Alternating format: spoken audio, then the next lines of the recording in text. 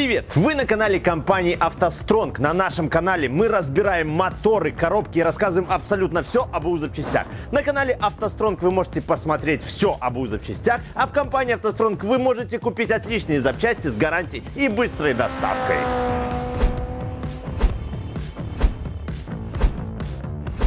Вы просили, мы долго готовились и прямо сейчас мы выкатим рейтинг топ-10 самых надежных дизельных двигателей. Мы отобрали моторы, с которыми вы можете встретиться. То есть автомобили с этими моторами ездят и не болеют. В данном рейтинге все двигатели с топливной системой Common Rail, которая никак не ухудшает их надежность. Невероятно, но это факт. Причем на каждый из этих моторов мы сняли подробнейший обзор. Ссылочки будут в описании. Итак, десятое место. С натягом в наш рейтинг мы поместили двигатель Toyota D4D. Он появился в 2005 году, у него алюминиевый блок, и он достался всем крупным европейским моделям Toyota, а также Lexus IS. Двухлитровая версия развивает мощность 126 лошадиных сил, а 2.2 от 136 до 177. Цепь ГРМ надежна и никаких нареканий не вызывает. Топливная система Денса долговечна, но менять топливный фильтр надо только на оригинальный и желательно почаще, вместе с фильтром масляным. Тойотовский дизель попал в наш рейтинг с натяжкой, потому что до 2009 года он сходил с конвейера с дефектной прокладкой ГБЦ. Ее пробивало, что требовало снятия головки и замены прокладки на новую. А также была необходима проверка ГБЦ и блока на предмет эрозии алюминиевого сплава сплава. В принципе, ничего такой мотор получился. Десятое место. Итак, девятое место. Двигатели Hyundai Kia объем 1.5 и 1.6, которые относятся к большому семейству под литерой U. В это семейство входят двигатели объемом от 1.1 до 1.7. Сервисменам и владельцам эти двигатели известны под индексом D3E и D4F. Эти двигатели были созданы для европейских моделей Hyundai и Kia. У нас самые популярные это Hyundai Getz, Hyundai Matrix, Hyundai A30, Hyundai Elantra, а также Kia Ceed и Kia Soul. Топовые версии двигателя 1.7 встречаются на Tucson и Sportage. У нас они менее популярны. Двигатели построены на основе чугунного блока, имеют по 4 клапана на цилиндр, цепной привод ГРМ, топливная система Bosch с электромагнитными форсунками, турбины на большинстве версий с изменяемой геометрией. Каких-то слабых мест в двигателе замечено не было, но следует отметить, что две отдельные цепи имеют свойство растягиваться и начинают шелестеть при пробеге как 80 тысяч километров, так и в 200 тысяч километров. Короче, годный корейский моторчик, который по праву получает девятое место в рейтинге «АвтоСтронг». Хороший двигатель оказался и у Nissan. Речь идет о двигателе объемом 2,2 и 2,5 литра, который появился в 98 году. Его ранние экземпляры оснащались непосредственным впрыском с ТНВД распределительного типа ВП-44. Этот двигатель устанавливали на Альмера, Примера, Альмера Тина, также X-Trail. И также этот двигатель получили чисто японские модели Nissan. Двигатель Nissan хорош и долговечен, причем оба его варианта с ТНВД распределительного типа и системой Common Rail заслуживают уважения. Но за заправляться из бочки не стоит, потому что компоненты системы Денса в ремонте очень дороги. Пристального внимания к себе требует цепи ГРМ. Их тут две, и обе двурядные. Они могут огорчить растяжением при пробеге в 200 тысяч километрах и сопутствующим грохотом. Также одна из цепей может порваться с очень печальными для двигателя последствиями. Есть также и третья цепь, которая приводит вакуумный насос. Она имеет тоже свойство растягиваться. И еще одна особенность этого двигателя – это отсутствие гидрокомпенсаторов в приводе клапанов, что вынуждает раз в 8-10 лет проверять тепловые зазоры. А в принципе так моторчик очень даже ничего. Поехали дальше. Итак, седьмое место. Дебютировавший в 2006 году двигатель Renault 2.0 DCI проделал огромную работу над ошибками, которые совершили его предшественники с объемом 1,5 до 2,2. Во-первых, он избавился от мудреных механических решений, которые были применены в двигателе 2,2. А во-вторых, он избавился от износа шатунных вкладышей. Эта проблема была присуща двигателям объемом 1,5 и 1,9. В результате получился просто нормальный современный двигатель с топливной системой Common Rail. У него чугунный блок, турбина с изменяемой геометрией и однорядная цепь ГРМ. Его заполучили все крупные модели Renault, от Megane и Laguna до Kaleus и Velsatis. Также его устанавливали на Nissan Qashqai и Nissan X-Trail. И также его устанавливали на коммерческие фургоны Traffic, Prima Star, Vivaro.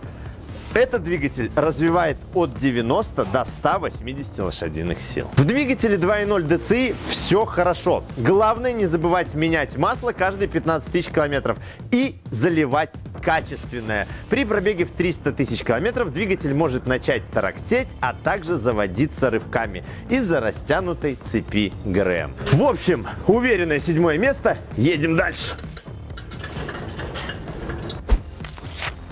Итак, шестое место. Дизель, который достоин упоминания, это итальянский 1.9 GTD. Именно в 1997 году он стал первым легковым дизелем с топливной системой Common Rail. Первые его версии были с двумя клапанами на цилиндр, а в 2002 году появилась версия с четырьмя клапанами на цилиндр и гидрокомпенсаторами. У двигателей чугунный блок и ременной привод ГРМ с интервалом замены 120 тысяч километров. Восьмиклапанные версии развивают мощность от 80 до 120 лошадиных сил, а 16-клапанные от 130 до 170. Их устанавливали на все Альфа Ромео, а также Fiat, Lancia, Opel, Saab и даже Suzuki. С данным двигателем в принципе-то проблем нет. Единственное, что на 16-клапанных версиях есть проблемы с вихревыми заслонками. С заслонок слетает общая тяга их привода. Из-за этого заслонки начинают жить своей жизнью и мешают жить двигателю. Ему не хватает при нагрузках воздуха, из-за чего снижается тяга и появляется черный дым. Также через разбитые пластиковые втулки наружу через пускной коллектор уходит надутый воздух и наружу просачивается сажа и масло. И весь этот налет появляется на коллекторе и возле свечей накалов. В принципе, мы с этим мотором закончили. Пятому месту мы отнесем целое семейство ресурсных и долговечных мерседесовских дизелей с четырьмя, пятью и шестью цилиндрами и рассмотрим самые популярные ОМ-611 и ОМ-646. Это практически идентичные двигатели, которые немного отличаются топливной системой и навесным оборудованием. Сразу отметим, что в некоторых справочниках встречается обозначение 2.1, 2.2. Эти обозначения оба верные, потому что реальный объем этого двигателя чуть меньше 2150 сантиметров кубических. Итак, данные двигатели не имеют врожденных недостатков. Топливная система Bosch предельно надежна. Турбины вопросов не вызывают. Двурядная цепь ГРМ ходит не менее 500 тысяч километров. В некоторых версиях есть вихревые заслонки, которые разбивают посадочные отверстия во впускном коллекторе. В общем, с дизелями Mercedes все хорошо. Но с нами могут не согласиться владельцы фургонов и микроавтобусов Спринтер, а мы не можем не упомянуть их печальный опыт. Дело в том, что дизели ОМ-611, а в особенности ОМ-646, нередко погибали от износа или проворота вкладышей, деформации коленвала, либо же деформации постели коленвала. Данные двигатели в самых мощных версиях не переносят езду с перегрузом и ускорениями в натяг. Да и бытует мнение, что инженеры сэкономили на стали для коленвалов. Но 5 и 6 цилиндровые двигатели объем 2,7 3,2 таких проблем с коленвалом не испытывают. В общем, если бы не этот косяк с коленвалом, данный двигатель бы поднялся в нашем рейтинге выше. Но уверенное пятое место. Итак, место четвертое. Инженеры Honda создали свой первый дизель в 2003 году, но агрегат 2.2 CDTI оказался очень удачным. Даже алюминиевый блок не вызывал никаких проблем. Цепь ГРМ надежная и ходит 300 тысяч километров. В отличие от других японских производителей, Honda сделала выбор в пользу топливной системы Bosch. А это значит, что форсунки ТНВД ходят максимально долго, и их ремонт не влетит вам в копеечку. Данный дизель у нас не столь популярен. Его можно встретить на всех больших Honda Civic 7, Аккорд 7-8 поколения, CRV 2-3 поколения. Мощность данного двигателя 140-150 лошадиных сил. Четвертое место. И по нашему мнению, это реально самый крутой японский дизель. А сейчас мы подбираемся к топ-3. Итак, топ-3. Концерн PSA, в который входит Peugeot Citroën, представили свой первый дизель с системой Common Rail в 1998 году. Нам он известен как 2.0 HDI. В первых версиях в ГБЦ было по 8 клапанов, но в 2003 году в ГБЦ поместили два распредвала и 16 клапанов. Пускной распредвал приводится от выпускного цепью в приводе ГРМ ремень, как у 8-клапанной, так и у 16-клапанной версии, который надо менять каждые 120 тысяч километров. Восьмиклапанные моторы просты и хороши. Дорогостоящие проблемы может доставить топливная система Siemens, которая встречается на ранних экземплярах довольно редко. В основном на восьмиклапаннике ставилась топливная система Bosch. 16-клапанные двигатели чуть сложнее, но не сильно капризные. На ранних экземплярах может растянуться межвальная цепь ГРМ. Впоследствии производитель заменил на более надежную. Топливная система Siemens не терпит неквалифицированной замены топливного фильтра, а топливная система Delphi может огорчить стоимостью ремонта. В принципе, данный двигатель очень даже надежный, поэтому заслуженное третье место.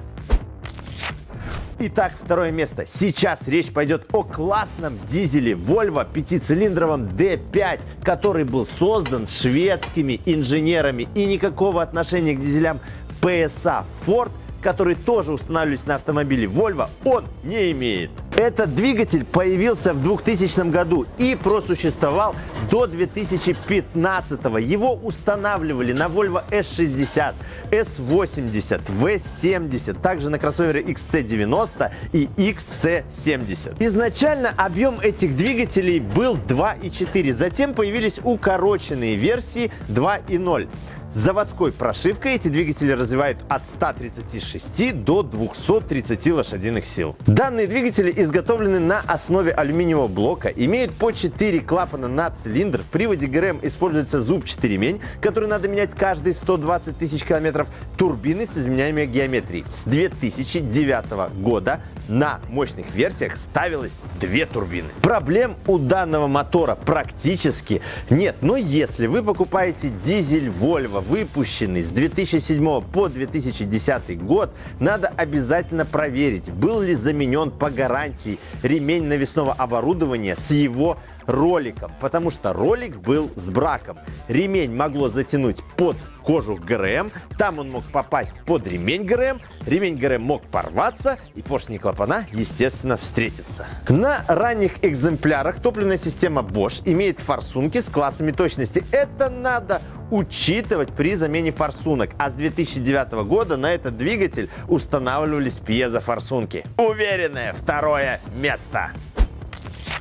И как вы думаете, что мы поставили на первое место? Итак, встречаем рядная дизельная шестерка BMW с объемом 2,5 или 3 литра, которая появилась в 98 году и просуществовала 14 лет. Ее выпуск закончился в 2012. К слову, флагманский двигатель BMW применялся не только на BMW версию 2.5D форсированную с мощностью 150 лошадиных сил устанавливали на Opel Omega B. а трехлитровую на Range Rover 3. Двигатель М57 не раз модернизировали. Самая серьезная модернизация была в 2005 году, когда блок стали отливать из алюминия, ГБЦ получила новые распредвалы и увеличенные впускные клапаны. Топливная система Bosch перешла на пьезофорсунки, а битурбированные версии развивали 286 лошадиных сил и 580 ньютонометров крутящего момента. К надежности этого мотора нет никаких вопросов. Однако стоит обратить внимание владельцу будущему на вихревые заслонки. Скорее всего, они будут удалены. Если же нет, то надо осмотреть впускной коллектор на предмет запотевания под вихревыми заслонками. Также стоит послушать двигатель. Впускной коллектор не должен дребезжать. Дребезжание указывает на то, что одна или две заслонки уже готовы сорваться и упасть во впускной коллектор, попасть между поршнями и клапанами и вызвать преждевременную кончину данного двигателя. Также поздние и самые мощные версии двигателя М57, а также моторы на злом чипе могут потребовать преждевременную замену цепей ГРМ. На более старых двигателей цепи в легкую ходили по 500 тысяч, а в новых двигателях они могут потребовать замены уже на 300 тысячах километрах. Плюс цепь маслонасоса в придачу.